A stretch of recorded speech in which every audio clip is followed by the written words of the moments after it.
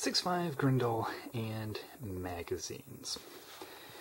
now, just to run through this real quick. Duramag for 6.5 Grendel, Lancer Systems, uh, OD Green, uh, see-through mag, HK mag, uh, originally designed for the SA80, and this is a D&H uh, mag for 76239. Now, what you may notice is Lancer has a pretty smooth set of feed whips, just one notch in the back. The more normal feed whips on a magazine are like this, where you have these ribs right up near the top. Now the problem with these ribs, and I don't have them now, but the original magazines I got for my 6.5 Grendel were E-Lander magazines. They essentially copy a regular 5.56 magazine. Um, I don't know if they're any more tapered than a 5.56 magazine. Uh, they certainly have uh, both of the uh, ribs right there. And the issue with that is if you look at these two rounds, 6.5 Grendel has a much, much larger uh, rim notch for the extractor than 5.56 does. And that notch gets caught, or would get caught, in the E-Lander mags. Now, it's kind of interesting. Um, on this one, uh, the notches are a little bit bigger, um, they're a little less severe, so 6.5 Grendel, well, okay, now you can see it'll, it actually gets caught in that second notch, which is exactly what was happening to me on the E-Lander magazines that I was first using for uh, 6.5 Grendel before I switched to the Duramag. Um, that causes failures to feed, which is why you don't want those notches in any of your 6.5 Grendel type magazines. It causes failure to feed, and then the round will nosedive into the front uh, face of the chamber uh, beneath the breech. Now, while 6.5 Grendel will feed in steel magazines, there is enough room for it to actually go down. Uh, you'll wind up having stacking problems because it has more of a taper than 223 does. It's kind of disappointing that Lancer magazine doesn't actually produce 6.5 Grendel magazines, um, or Lancer Systems doesn't, because they're awfully close. It's a little difficult to see here in the light, but that rim, sorry, the uh, the front face of the magazine is just hitting the polymer tip of this Hornady Black 6.5 Grendel ammunition. The reason I say it's unfortunate is because these feed whips are really nice for Grendel. Like, when you push it through, um, it's just lifted right along this corner here. It's smooth here. So this would actually push through really well. The only problem is it's polymer, so it's a little bit thicker. Um, and by a little bit, I mean a tiny, tiny bit. Uh, most of the extra thickness is actually in the back. Um,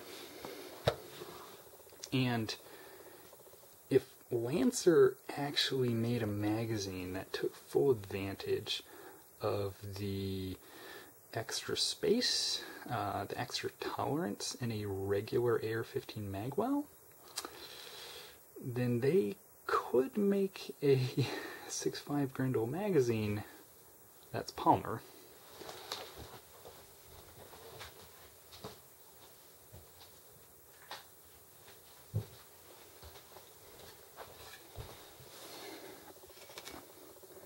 For example, this is a T91 clone I have from T91 Tactical.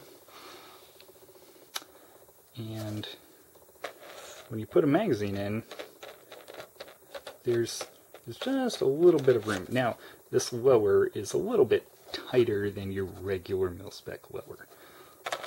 But still, there is just a little bit of tolerance forward and back um, that you might be able to take advantage of. Now, that's kind of hypothetical, and obviously, if you have a well tolerance mag well like this T91 Weller I have, uh, then you're not going to be able to do it. So that's probably why uh, no one's actually managed uh, to make a nice 30 round polymer 6.5 Grendel magazine. Um, obviously, I I know someone did make a uh, 10 round semi single stack one, but that's about it. Anyway, enough about 556 type magazines. Onto this stuff. These Duramags are the best 6.5 Grendel magazines out there. Um, in fact, they're the only ones I know of uh, that will actually properly feed.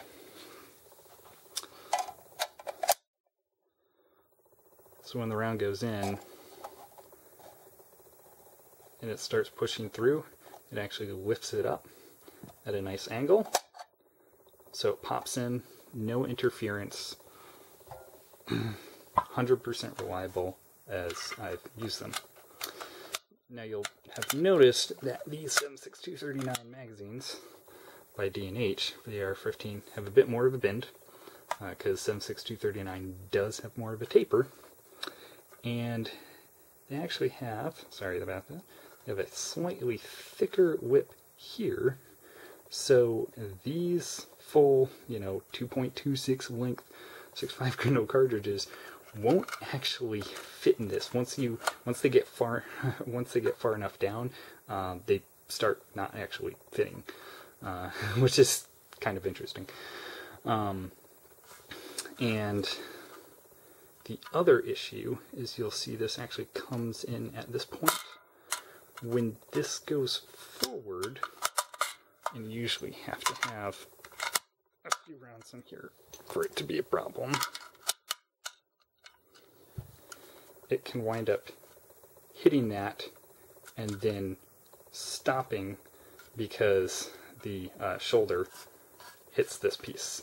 Now that's a problem unique to 6.5 Grendel, not 76239, which has a much smoother shoulder as it transitions from the case to the actual bullet. But D&H could have made a really good magazine for 6.5 Grendel if they made one without the shoulder. Um, obviously that is kind of the one disadvantage of 6.5 Grendel. You have a very short main body uh, compared to a significantly thinner rest of the piece. Uh, and then so unlike uh, something like 6.5 Creedmoor where you have a, a good body, uh, a good length of body that you can use with the feed whips to help it feed in properly, it's much harder for this round. Um, that being said, as the Duramag proves, you can make a magazine that will feed this 100% reliably. That's all for today.